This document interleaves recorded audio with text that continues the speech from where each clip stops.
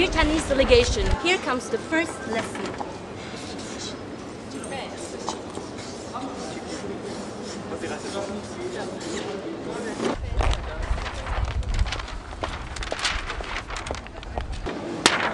No democracy without human rights.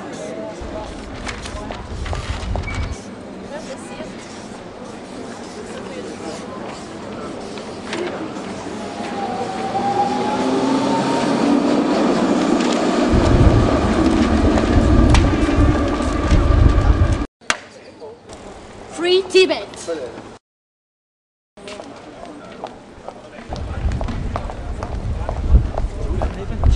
The Chinese delegation of the National People's Congress of China is visiting Switzerland now for years, and they are supposed to have dialogues about human rights and about politics.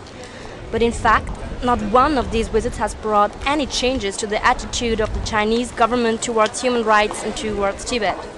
So today we just want to ensure that they learn something and that they have a message to take back home to China.